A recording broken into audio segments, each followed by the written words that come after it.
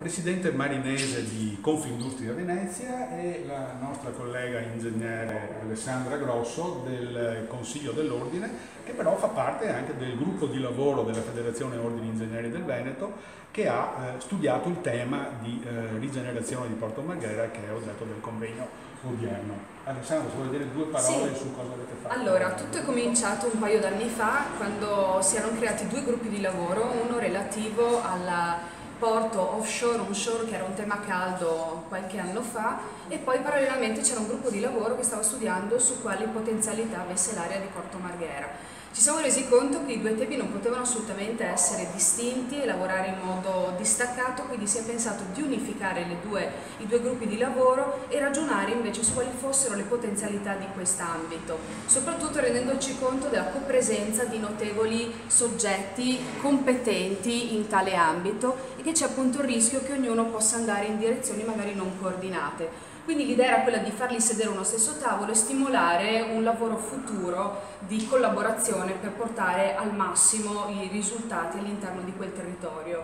E oggi vediamo i risultati sì. in questo convegno. Il Presidente Marinese che abbiamo invitato perché è uno dei stakeholders dice, no, nella, anche di quest'area e volevamo sentire il suo pensiero.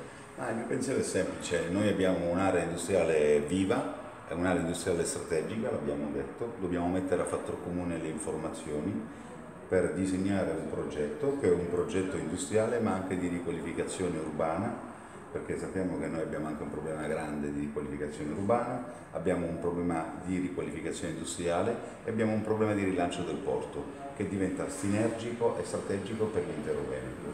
Oggi il convegno affronta un tema rilevante e cerchiamo attraverso questo convegno di coniugare insieme un'idea attraverso anche la possibilità di contaminarci con l'informazione e mettere a fattor comune quelli che sono i dati, i problemi e prospettare le, le soluzioni. E noi ingegneri della provincia di Venezia la ringraziamo e cercheremo di trovare delle sinergie in futuro come è stato per il passato. Grazie, Grazie. molte. Grazie. Grazie. Grazie.